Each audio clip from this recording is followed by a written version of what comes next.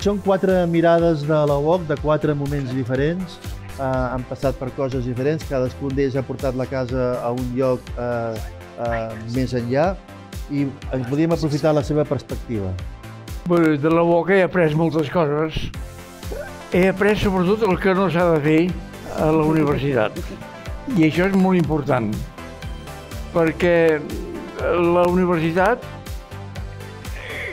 que aparentment és progressista, de fet, l'experiència em va dir que era molt conservadora, que el que feia por de les universitats és el canvi, però a la UOC vam aprendre a fer coses diferents de com sempre s'havien fet.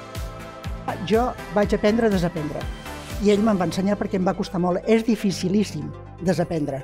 O sigui, desaprendre tot el que has fet durant tota la vida i que això que diuen que les coses sempre s'han fet així, etc. Aquí vaig aprendre a, a desaprendre, que si un vol avançar, ha de deixar enrere moltes coses que ha cregut que eren veritats inamovibles.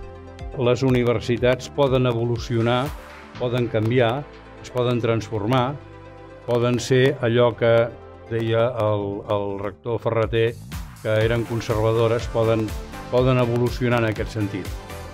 Crec les persones, tant de, de gestió com acadèmiques, que justament han fet el que diu ara el rector, no? que, que han sabut, eh, que han sabut adaptar-se a, a, una, a un model d'universitat que no era la tradicional, el gran repte que tenim és ser capaços d'integrar, ja ho sabeu, si no vaig de 3 en 3, tres coses. Un és la tecnologia i integrar-la com, com cal en la nostra proposta eh, educativa i, en segon lloc, continuar integrant coneixement, connectant coneixement, generant coneixement, tota la part de, de recerca, cal ser, cal ser perseverants en aquest sentit i continuar fent aquesta tasca.